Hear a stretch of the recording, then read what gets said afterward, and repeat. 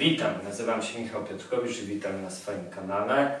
Dzisiaj zajmiemy się cięciami w nogę, wykonanymi tanto, tak zwanym ashigiri i wykonanym lewą ręką. Przypominam, że jestem praworęczny i przypominam, że tego typu próby są dość niebezpieczne. Pierwsze cięcie, zupełnie klasyczne, wygląda w ten sposób. O tu. Jest to cięcie skośne w nogę. Zobaczymy jak nam wyjdzie. Hop. Znaczy jak my nie wyjdzie. Wy raczej tego nie próbujcie. Całkiem nieźle. No I oczywiście ja nie mam tyle kontroli, co nad prawą ręką. Spróbujmy sobie teraz w formie cięcia na niepodpartym celu już na wskroś takiego na drugą stronę, czyli w ten sposób skośnego z wypadu tu, również stosowanego w tamto jutsu, również lewą ręką. Bez problemu, jak widać, nawet ta podporowa mata nie przesunęła się, więc bardzo czyste cięcie.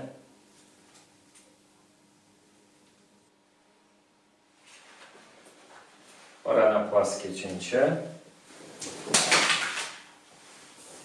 Bez najmniejszego problemu.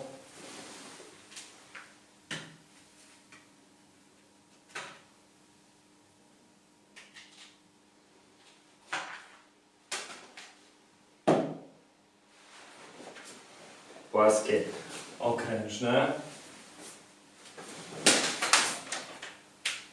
Również.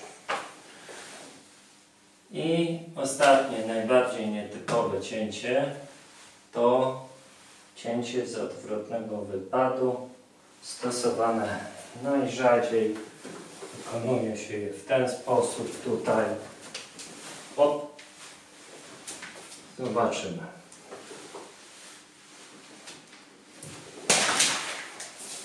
I też wyszło. Tylko nadmienię, że to ostatnie mi sprawia bardzo duży problem, bo świeżo jestem po operacji usunięcia fragmentu mąkotki, więc naprawdę to nie było proste. Wam ogólnie odradzam próbowania, przynajmniej e, w najbliższym czasie, e, cięć lewą ręką.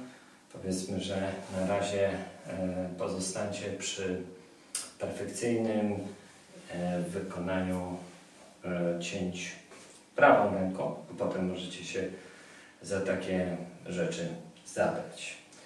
E, póki nie ma e, bardzo dobrej formy w cięciach prawą ręką, naprawdę nie jest ani bezpiecznie, ani dobrze za, e, zabierać się za mm, jakby tak trudne rzeczy dla naszego ciała, jak cięcia lewą ręką i to krótkim ostrzem. No nic, mam nadzieję, że Wam się podobało.